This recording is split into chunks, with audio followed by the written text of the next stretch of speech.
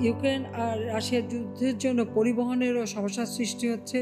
আগের মতো জাহাজ চলাচল করতে পারছে না। হঠাৎ দেশে আবারও বিদ্যুতের লোডশেডিং শুরু হয়েছে। রাজধানী সহ বিভিন্ন এলাকায় লোডশেডিং এর কারণে গ্রাহকরা চরম দুর্ভোগে পড়েছেন। লোডশেডিং এর কারণ হিসেবে দেখা হচ্ছে প্রচণ্ড গ্যাস সংকটকে। সরকারের দেওয়া তথ্য মতে, গ্যাস সংকটের কারণে বিদ্যুৎ উৎপাদন ব্যাহত হওয়ায় বাধ্য হয়েই বিদ্যুতের লোডশেডিং করতে হচ্ছে।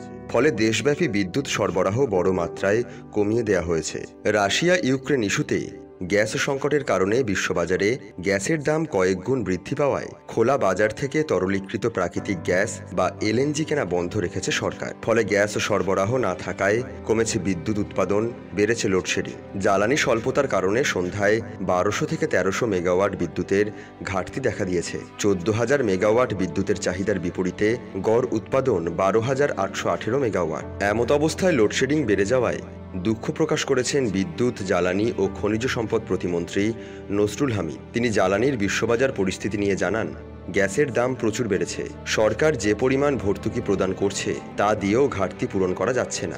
গ্যাসের দাম এখন আন্তর্জাতিক স্পট মার্কেটে প্রতি ঘনফুট ছত্রিশ ডলার।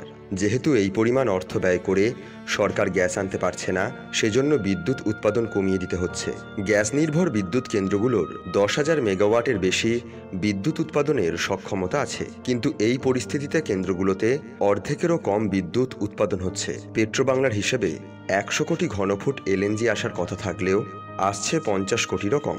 এলএনজি আমদানি কমে যাওয়ায় গ্যাস সরবরাহ গত কয়েকদিনে তিরিশ শতাংশ কমেছে। জ্বালানি তেলের দাম বিশ্ববাজারে চড়া হওয়ায় পেট্রোলিয়াম কর্পোরেশনকে দিনে একশো কোটি টাকার বেশি লোকসান গুনতে হচ্ছে। তাই তেল চালিত বিদ্যুৎ কেন্দ্র পুরো দমে চালানো সম্ভব হচ্ছে না। তাই এক প্রকার বাধ্য হয়েই লোডশেডিং করাতে হচ্ছে। তাহলে লোডশেডিং কমবে কবে? লোডশেডিংয়ে অতিষ্ঠ হয়ে অসহ্য গরমে ঢাকার অনেক এলাকার মানুষ বাসাবাড়ি থেকে রাস্তায় বেরিয়ে আসেন ঢাকার বাইরে গ্রামগুলোতে বিদ্যুতের জন্য হাহাকার চলছে। কোনো কোনো গ্রামের মানুষ সারা দিনেও এক ঘণ্টা বিদ্যুৎ পাননি। শিল্প মালিকরা জানিয়েছেন, গ্যাস বিদ্যুৎ সংকটের দিনের অধিকাংশ সময় কারখানা বন্ধ রাখতে হচ্ছে। উৎপাদন ব্যাহত হওয়ায় সময় মতো বিদেশে পণ্য পাঠানো সম্ভব হচ্ছে না। ফলে রপ্তানি অর্ডার বাতিলের শঙ্কা দেখা দিয়েছে। ইউক্রেন যুদ্ধের জেরে আন্তর্জাতিক বাজারে দাম বৃদ্ধিকে দায়ী করছে সরকার। যুদ্ধের কারণেই কাঙ্ক্ষিত পরিমাণ গ্যাস আমদানি করতে পারছে না সরকার। তারপরও শিল্পের সরবরাহ কমিয়ে বিদ্যুৎ উৎপাদন স্বাভাবিক রাখার চেষ্টা চলছে।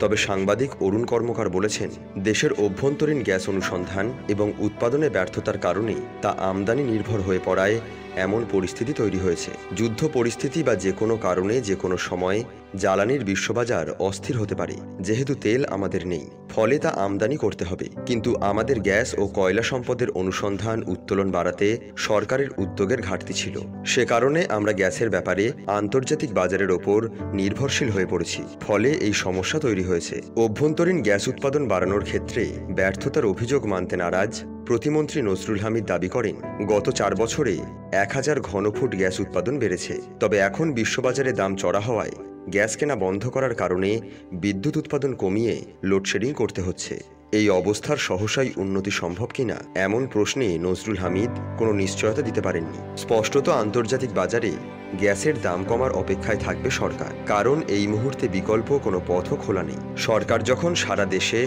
শতভাগ বিদ্যুতের আওতায় আনার কথা বলছে, তখন দিনে চার থেকে পাঁচবার লোডশেডিং হচ্ছে। কোথাও টানা কয়েক ঘণ্টা ধরে বিদ্যুৎ পাচ্ছেন না গ্রাহকরা। কবে মুক্তি মিলবে লোডশেডিংয়ের হাত থেকে, সেটা সময়ের হাতে তুলে দেওয়া ছাড়া বিকল্প নেই।